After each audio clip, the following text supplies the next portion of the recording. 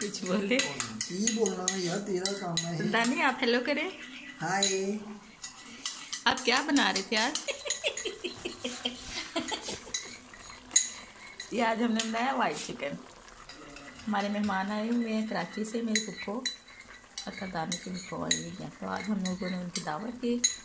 तो फिर मैंने ये बनाए वाइट चिकन और इधर मेरे हस्बैंड जो हैं वो क्रीम को बीट कर रहे हैं।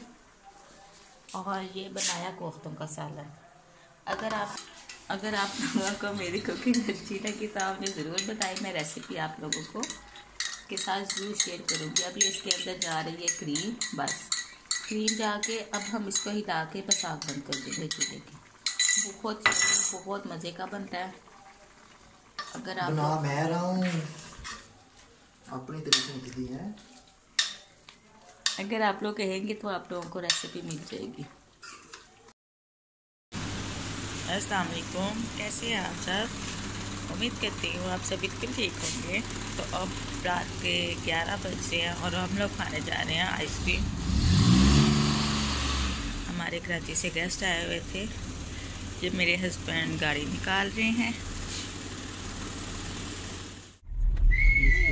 ये हम लोग अब जाने लगे हैं।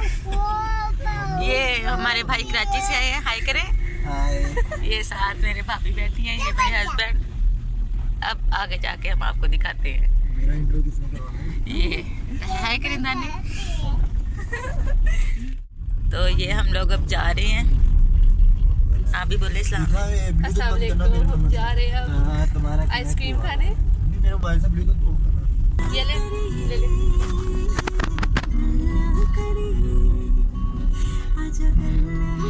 ये हम लोग पहुँच चुके हैं शॉप पे। इनकी आइसक्रीम बहुत मज़े की होती है। कौन होती है लेकिन मज़े की होती है। और इधर देखे सारा बाज़ार बंद है क्योंकि रात के आइसक्रीम कैसे खाई जाती है? आगे दिखाइएगा जरा। मैं जहाज़ का बात याद सामने के सामने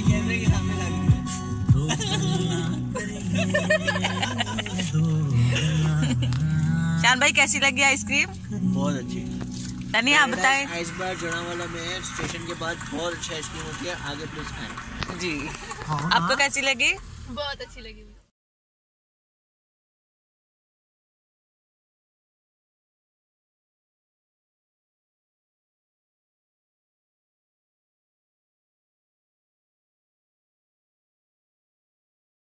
घर वापस आ गए हैं। हम लोगों ने एंजॉय आइसक्रीम खा ली खूब एंजॉय किया है ना? खूब इंजॉय किया। हाँ।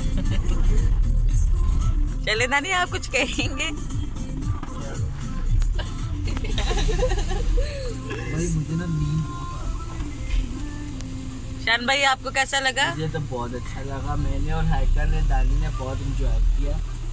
है ना है का? हमने भी बहुत इंजॉय किया लेकिन थोड़ा सा सफ़र था जल्दी गुजर गया। चले जी।